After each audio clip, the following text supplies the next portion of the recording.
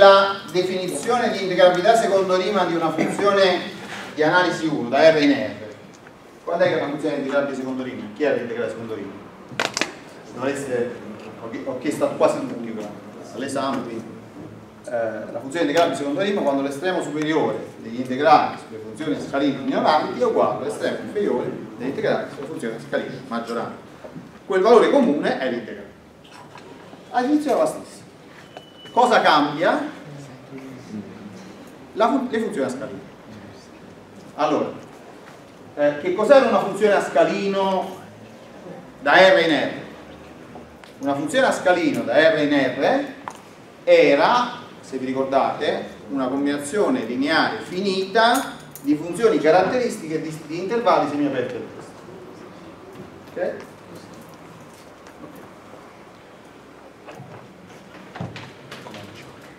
Allora, quello che mi interessa di sapere è che cos'è un intervallo di Rn.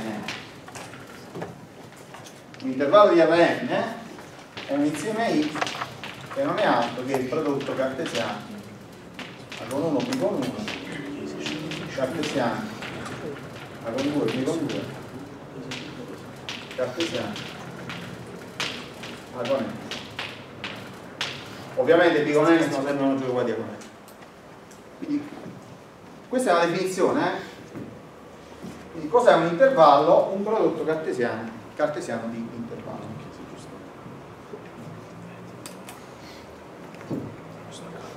Cos'è un intervallo di Rn semiaperto a destra? È eh, facile. Non è altro che un prodotto di intervalli tutti quanti. Semiaperti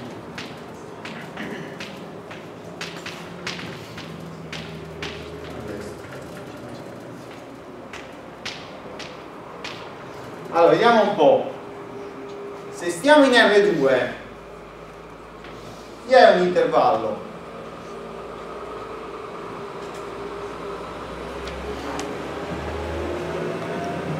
Allora A1 B1 A2 B2 quando vado a fare il prodotto cartesiano che cosa esce fuori?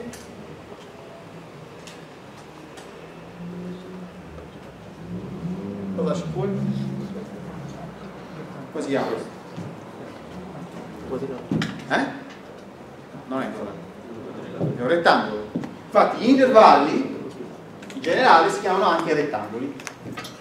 Intervalli se prendete la terminologia da n uguale a 1 rettangoli se prendete la terminologia da n uguale a 2 cos'è un intervallo di R3? parallelepipedo non uno qualunque. Anche questo rettangolo non è un rettangolo qualunque è un rettangolo con i lati paralleli agli assi coordinati. Chiaro? ok. Ora come si fa l'area di questo rettangolo? l'area la, la misura n dimensionale elementalmente definita di, uno, di un rettangolo di Rn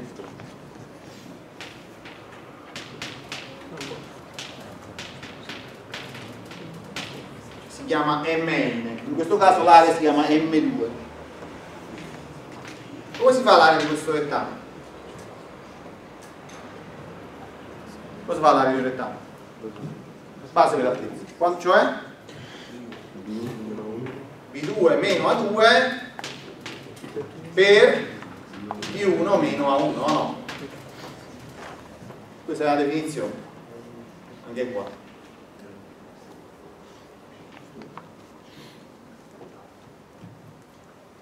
O e se questo lo prendo semi aperto a destra qual è la differenza?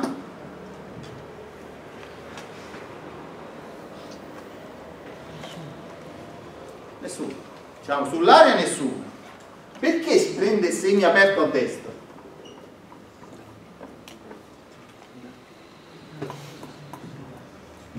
cioè avete presente le costruzioni le costruzioni come sono fatte? da una parte c'hanno lo spuntone e dall'altra parte c'hanno l'incavo. Perché si devono incastrare. Ora se io vado a incastrare un altro rettangolo qua sopra se li prendo tutti e due con tutti i lati questi due rettangoli sul, sul lungo il lato si sopra invece come sono fatti i rettangoli semiaperti a destra? In R2 hanno sempre il lato di sinistra e il lato basso ma non hanno mai il lato di sopra e il lato alto quindi quando io vado a incastrare con un rettangolo che ha la stessa base beh questo si incastra perfettamente perché il lato di sovrapposizione appartiene al rettangolo di sopra, non appartiene al rettangolo di sotto, quindi i due rettangoli sono disgiunti. Se riparto da D con 2. Chiaro? Quindi questo è il motivo. Per quanto riguarda l'area, il fatto di togliere due lati cambia qualche cosa sull'area? No. Voi raspate questo ok? E quindi non, non succede niente, l'area rimane sempre uguale. Quindi come si fa? Adesso come si farà l'area di un rettangolo in generale in dimensione n?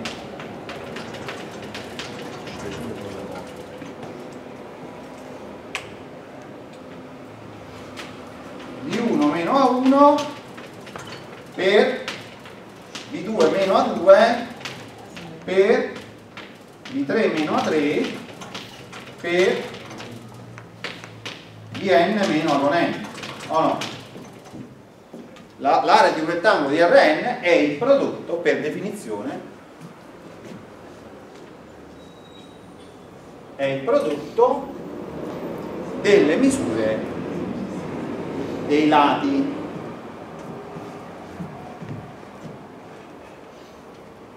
è chiaro fino a qui?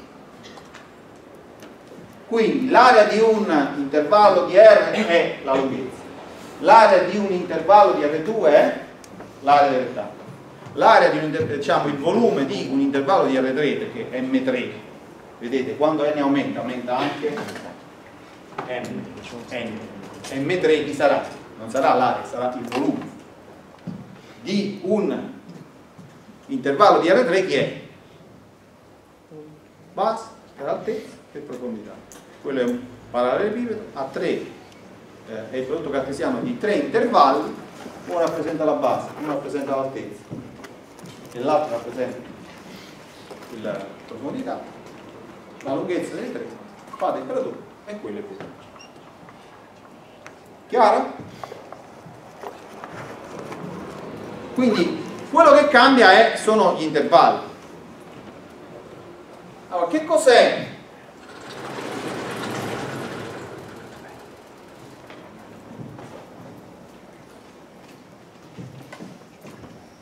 Allora, per esempio,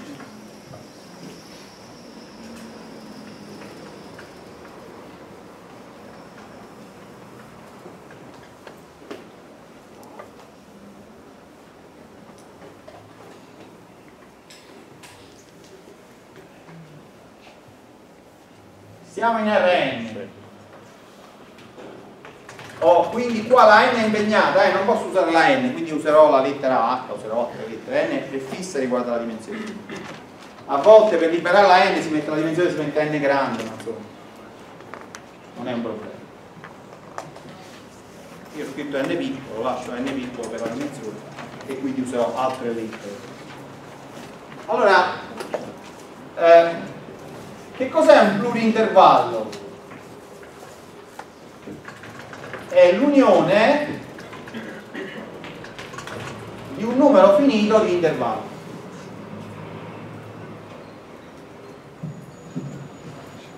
Per esempio, stiamo in R2, eh? naturalmente gli intervalli sono sempre semiaperti a destra. Faccio l'unione questi due rettangoli. Cosa posso dire?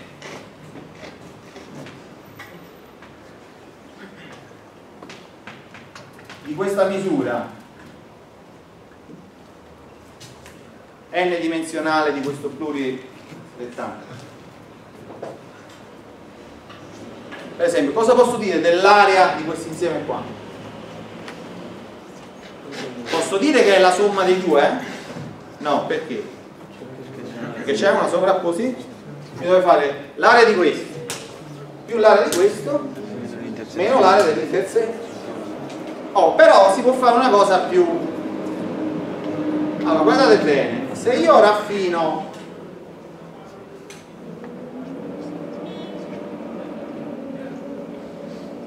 allora guardate bene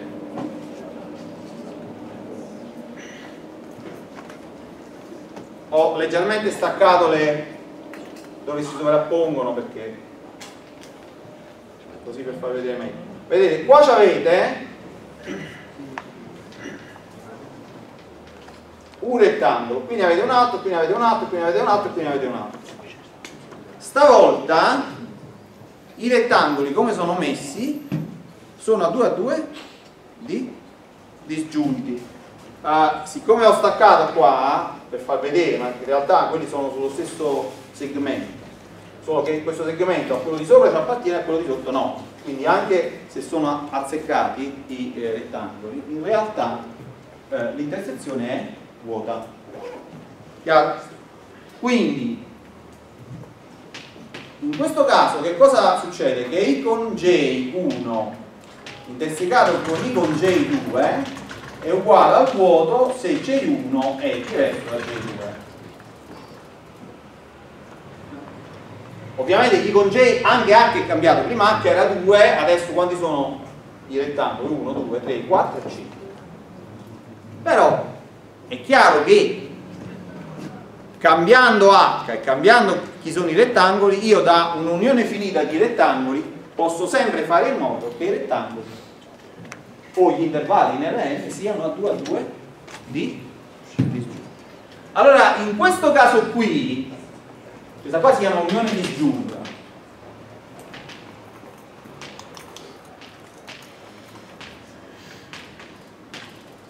Unione disgiunta. Cosa posso dire di questa misura? Eh, chi sarà la misura se l'unione è disgiunta?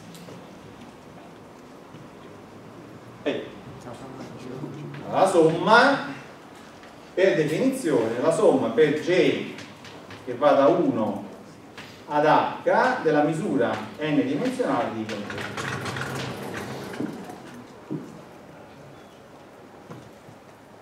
quindi noi ricorriamo a queste due definizioni per quanto riguarda la misura. Sappiamo fare la misura degli intervalli e la misura dei pluri-intervalli. Una cosa del genere si chiama pluri-intervallo o plurirettangolo.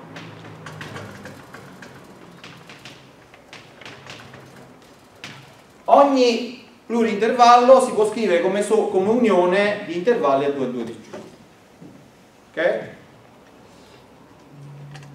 La misura di un pluri-intervallo si fa come la somma della misura degli intervalli che lo compongono a 2 a 2 disgiunti. Oh, cosa ci vorrebbe qua? Questa unione si può realizzare in un modo unico? No, manco per niente. Cioè, quando la andiamo a fare, questa cosa si può fare sicuramente in più modi diversi. Perché, per esempio, io questo rettangolo qui lo posso dividere in due. Lo posso dividere qua, lo posso dividere qua, lo posso dividere qua. Ogni rettangolo lo posso, cioè fogli a quadretti, no? Lo potete spaccare in tanti quadrettini più piccoli. Cambia l'area?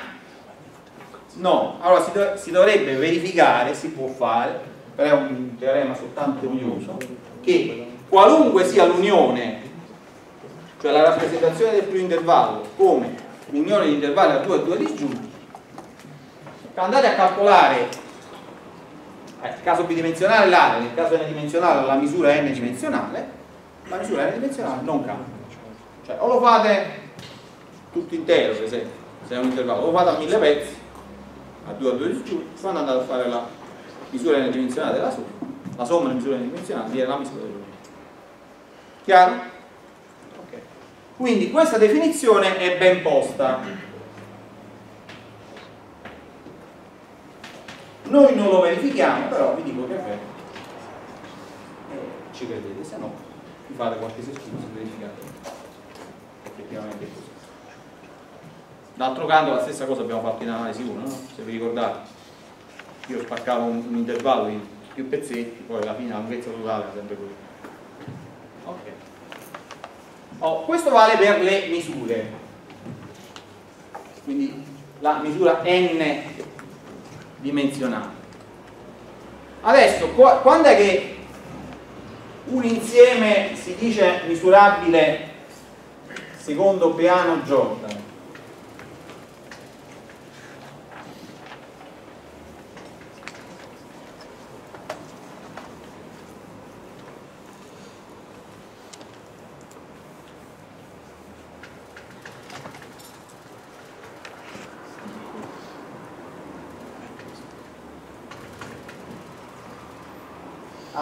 Abbiamo E contenuto in Rn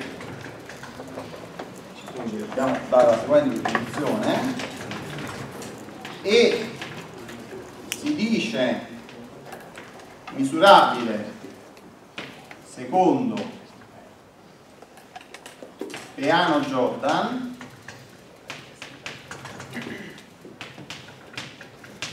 se solo se per definizione l'estremo superiore su P contenuto in E delle misure dei pluriintervalli contenuti è uguale all'estremo inferiore e P contenente E delle misure dei pluriintervalli contenuti. Questo qui si chiama misura n dimensionale di legge per definizione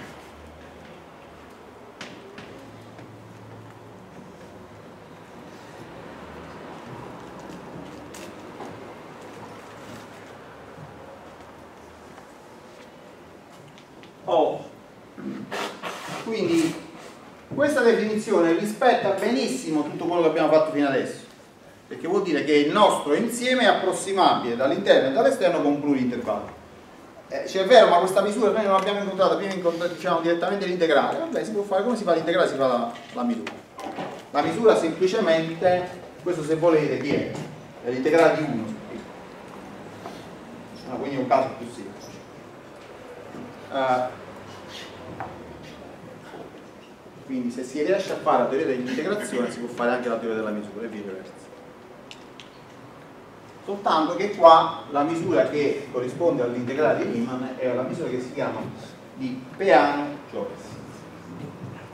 Ora, questa misura va bene? Allora, per molti esercizi dovete fare voi va benissimo.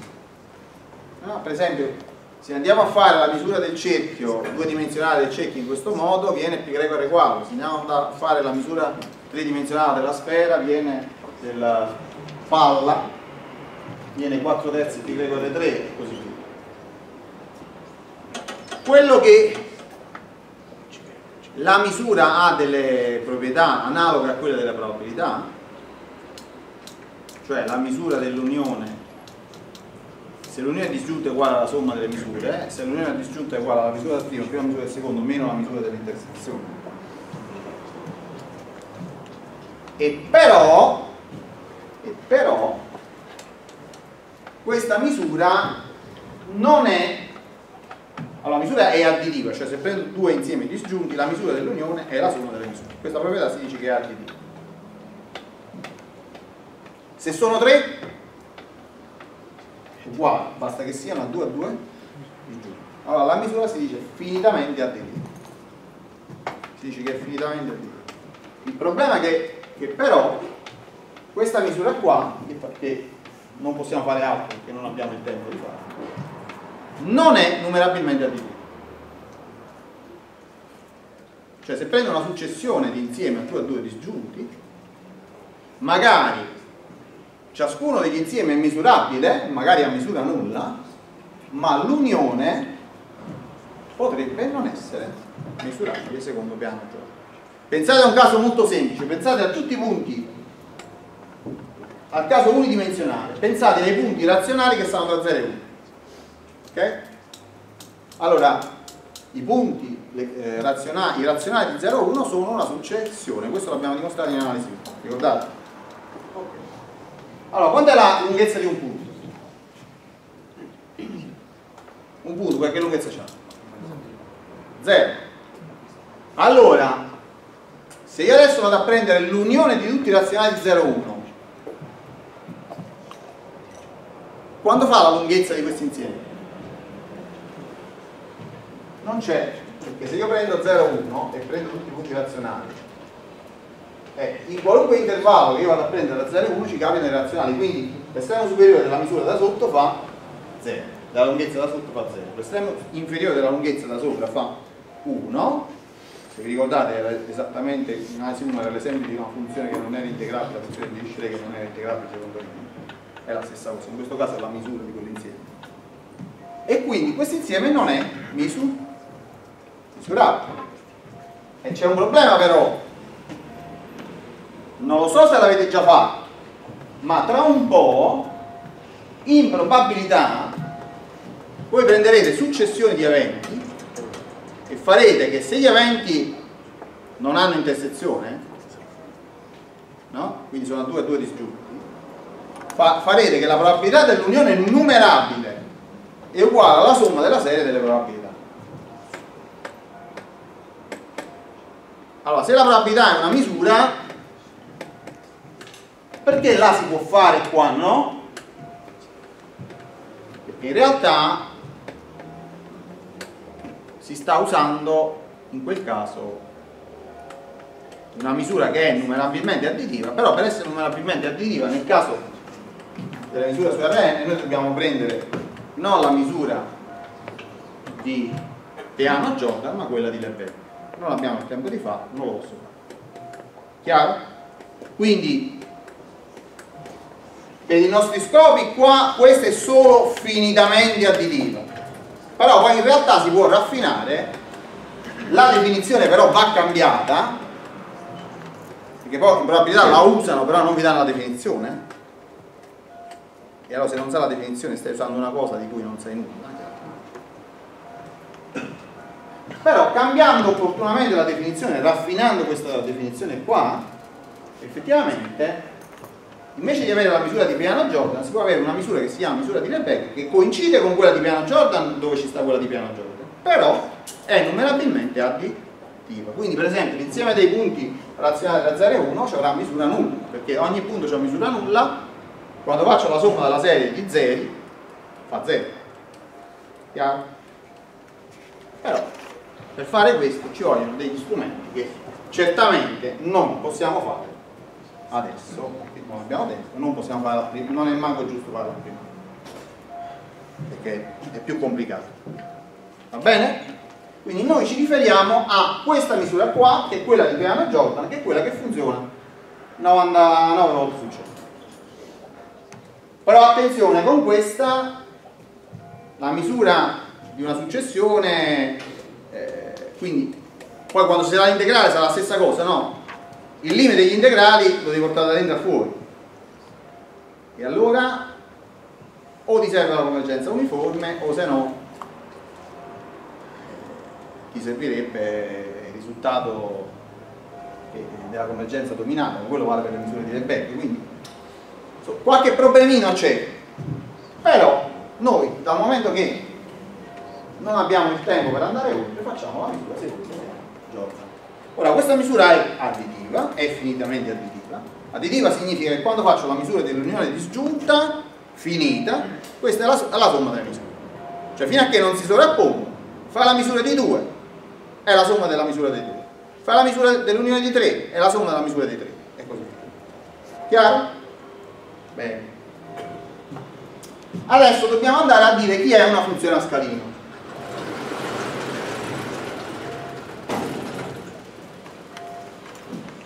allora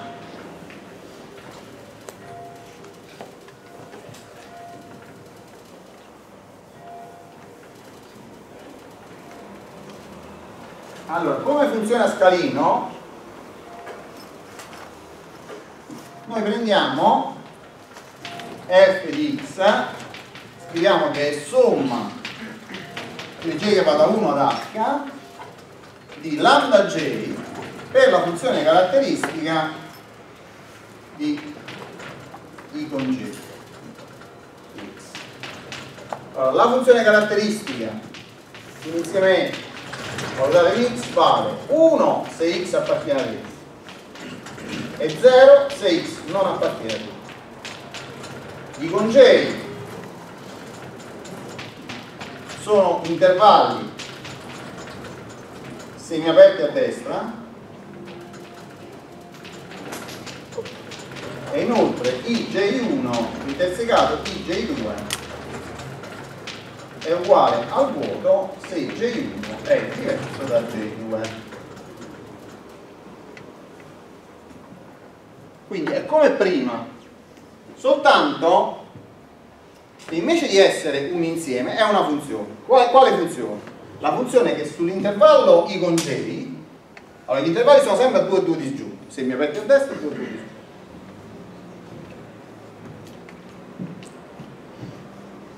quindi la definizione f si dice a scalino step function se solo se per definizione f è di questa forma qua cioè una combinazione lineare di funzioni caratteristiche di intervalli semiaperti a destra 2 a 2 di giù cioè la stessa cosa che in R soltanto cosa è cambiato? è cambiato l'intervallo in R2 sono i rettangoli, in R3 sono i parallelepipedi, in R4 sono i parallelepipedi quadridimensionali e così via.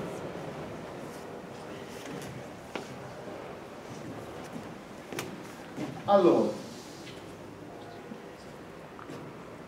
come si integra una funzione a scalino? Allora, f a scalino come sopra. Come si fa ad integrare? Allora si scrive integrale su Rn di f, o attenzione qua non si scrive dx, ma si scrive, si scrive anche dx, ma si scrive anche dx con 1, dx con 2, con n. Oppure si può anche scrivere per abbreviare dx. Allora, chi è questo qui per definizione? Come si fa ad integrare di una funzione a scalino? Secondo voi? Oh, se una funzione per esempio vale 3 su un intervallo, quanto varrà l'integrale? Eh? Allora, in, in, R come funzionava? Se la funzione valeva 3 tra A e B, quanto valeva l'integrale? B meno A per 3, cioè 3 per la misura dell'intervallo. E quindi qua che cosa devo fare? Devo fare somma per j che va da 1 ad h di lambda j per la misura n dimensionale di continuo. Basta. Oh, uno dice ma sei sicuro che è proprio uguale? Sì, perché gli intervalli li ho presi a 2 a 2 di disgiunti. Se non erano disgiunti no, Beh, in realtà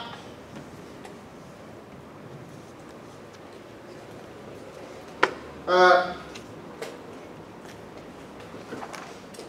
qua non me ne devo preoccupare perché?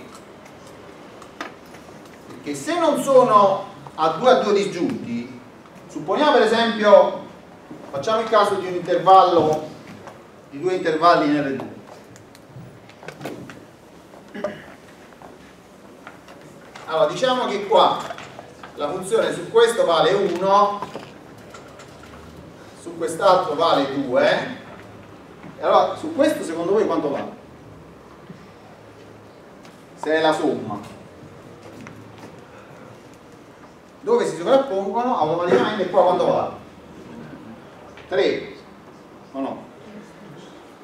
e quindi quando li vado a disgiungere eh, qua mi vale 1, qua mi vale 1, qua mi vale 3, qua mi vale 2, qua mi vale 2 quindi in realtà questa condizione qua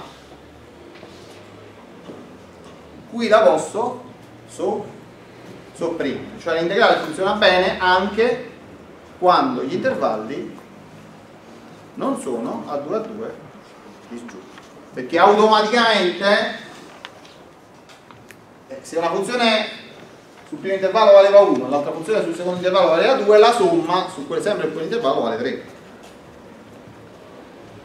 e quindi quando mi vado a fare l'integrale o faccio integrale no, vi ricordate anche in una variabile la funzione che valeva 1 tra 1 e 4 e poi valeva 2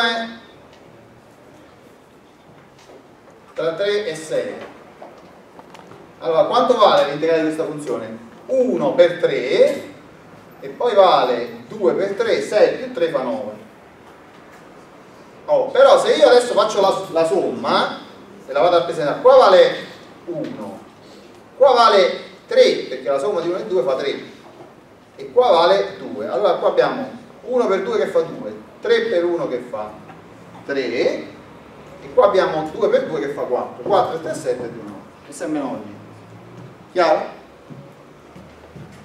quindi o scrivo se la mia f la scrivo la, diciamo, la funzione caratteristica di 1 4 più due volte la funzione caratteristica di 3 6 ma la posso anche scrivere come? La funzione caratteristica di 1 3 più tre volte la funzione caratteristica di 3 4 più due volte la funzione caratteristica di 4 6 eh, queste sono due rappresentazioni della mia funzione. Siamo a, a diciamo, funzione unidimensionale quando faccio l'integrale di questa mi viene 3 per 1 che fa 3 2 per 3 che fa 6 6 più 3 fa 9 quando lo faccio da questa parte mi viene 3 per 1 che fa 3 2 per 1 che fa 2 5 più, più 3 fa 5 2 per 2 che fa 4 5 più 4 fa sempre 9 quindi o la rappresento in un modo o la rappresento nell'altro è sempre uguale. Perché prima con la misura non funzionava? perché con la misura quando la funzione là vale 1 allora dove si intersecano se fai la somma la funzione deve valere 2 quindi non è più la funzione caratteristica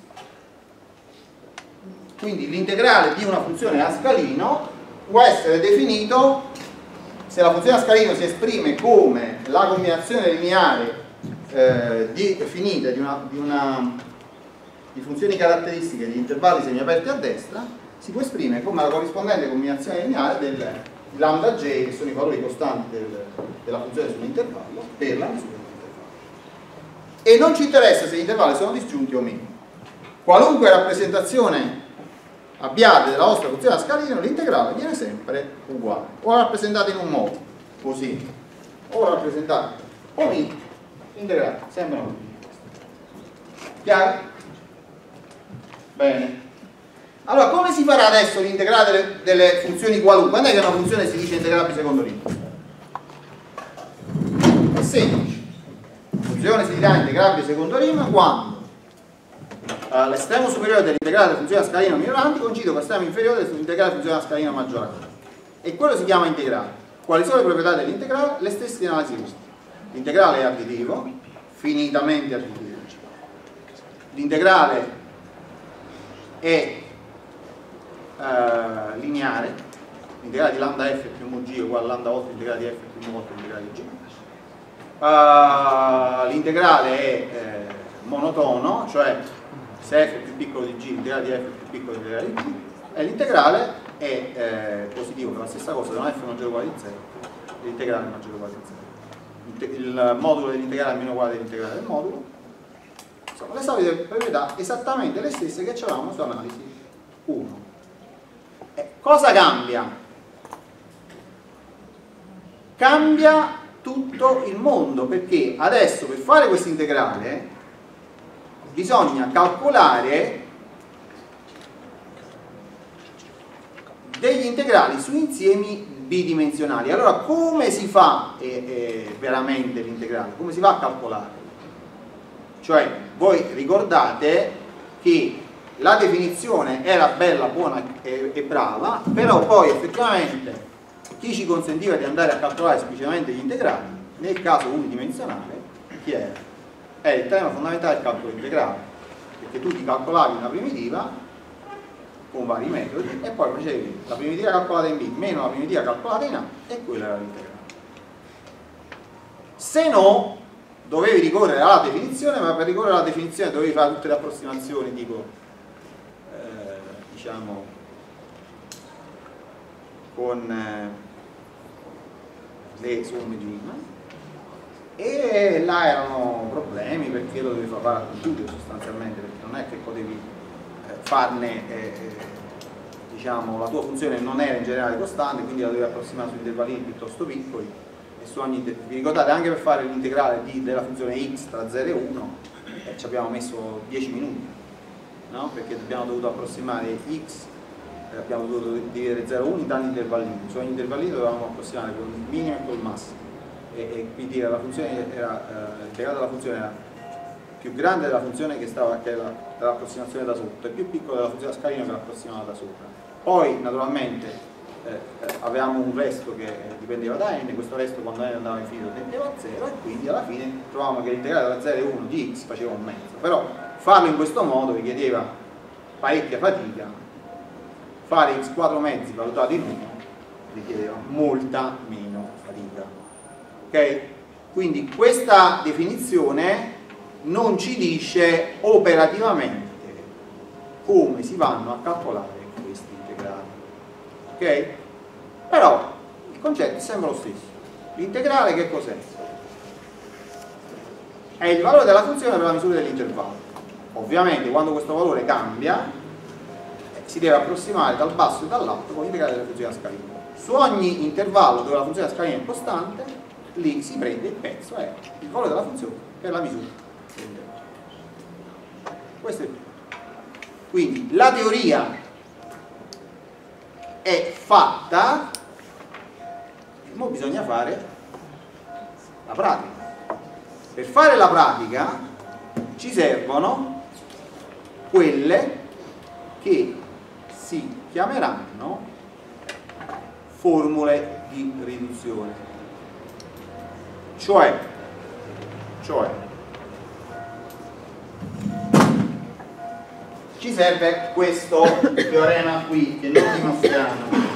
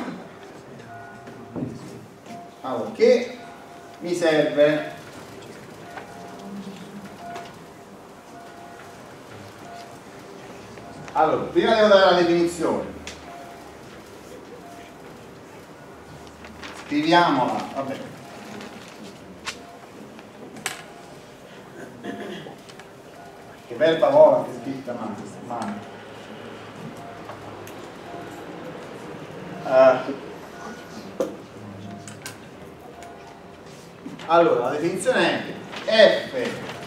Si dice che è integrabile secondo Riemann su Rn se solo se l'estremo superiore degli integrali su Rn di φ di x in dx tali che φ appartiene a s meno di f cioè una funzione a scalino eh, vabbè scriviamo uguale di f s eh, s di f s è l'insieme delle funzioni a scalino questo estremo super, superiore deve essere uguale all'estremo inferiore dell'integrale su Rn di phi di, diciamo di phi di x in dx dove phi di x è a scalini è una funzione a scalini però stavolta è maggiorante cioè se vi ricordate quello che chiamavamo S la, è la stessa storia. Quello che è cambiato non è la definizione sono cambiate le funzioni a scalini sono sempre combinazioni lineari di eh, intervalli semiaperti a destra questo come sugli intervalli.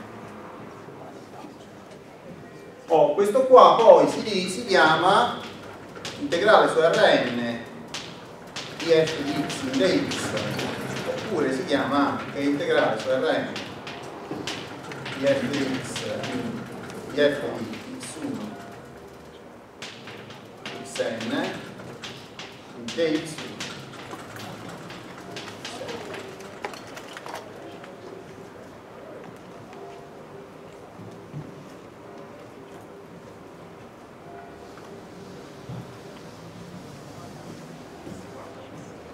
Allora, adesso ci serve il seguente teorema.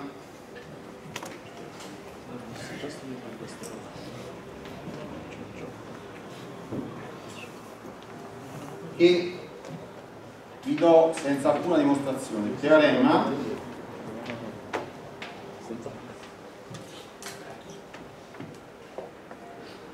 Supponiamo che f sia integrabile secondo rima su Rn allora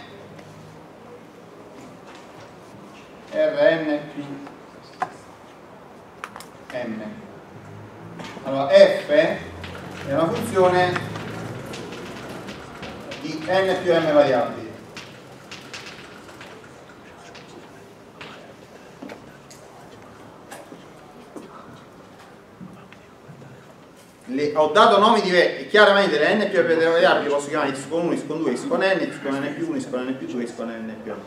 Però ho voluto dare dei nomi diversi ai due blocchi di variabili, così vi rimane impresso il teorema. Ok?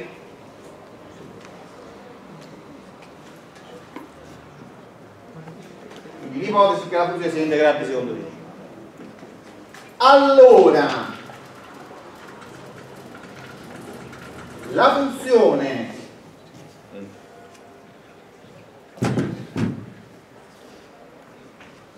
f di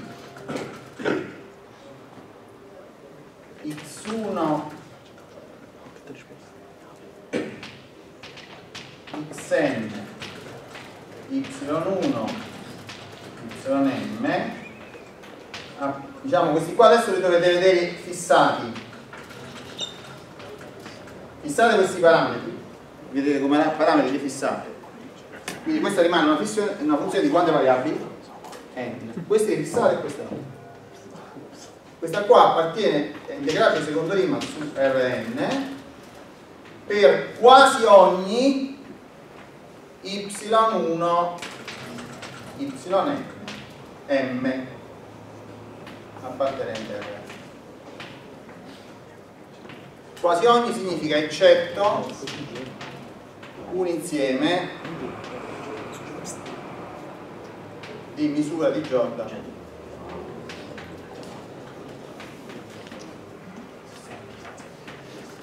nulla. Cioè quasi sempre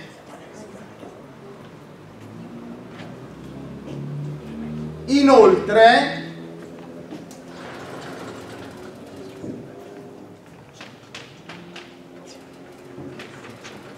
l'integrale Rn più m di f di x con 1 x con n y1 yn in d quindi su Rn cioè in dxy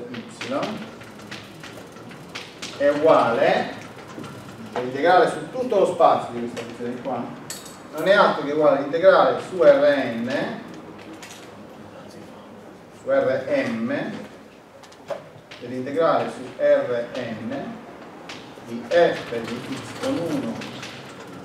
y1 yn y1 ym in d y1 yn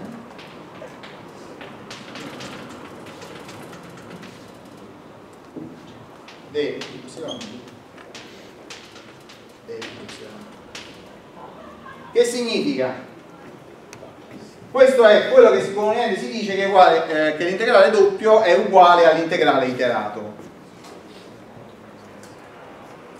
Cioè, se noi l'integrale invece di calcolarlo globalmente con la definizione di prima, lo andiamo a fare, prima fissiamo queste, calcoliamo l'integrale qua, ci, ci, viene sempre questo integrale qua, beh quasi sempre, tranne un insieme dove, eh, che però ha misura in Rm nulla